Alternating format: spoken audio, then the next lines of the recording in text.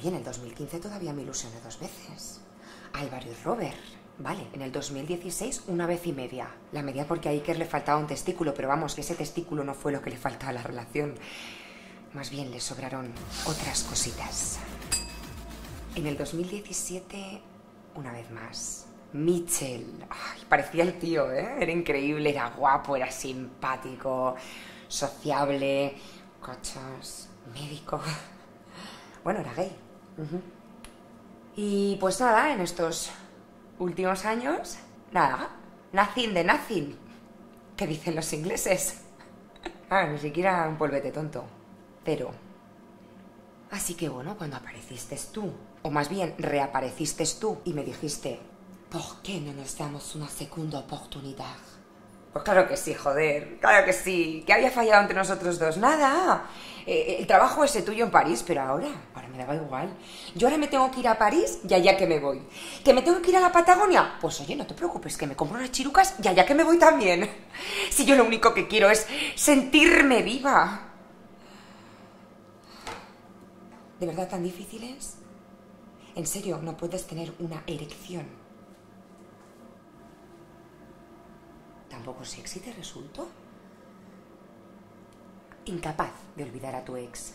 No vengas con estas ahora, ¿eh? que para darte cuenta, para darte cuenta, hemos tenido que venir un fin de semana hasta Tenerife. ¿Tú sabes la de pasta que me he gastado? El billete del avión, la lencería, la esteticista. Yo no tenía tampoco pelo en el cuerpo desde que tenía dos años. Que es que me he depilado hasta lo otro. Enterito. Que debe parecer un ombligo el pobre. ¿Tú sabes lo que duele eso? De verdad, un poquito. ¿Mm? Par de empujoncitos a dormir. Qué francés de mierda. Que nos subamos al Teide, me dice. Que nos vendrá bien un poco de aire fresco a los dos.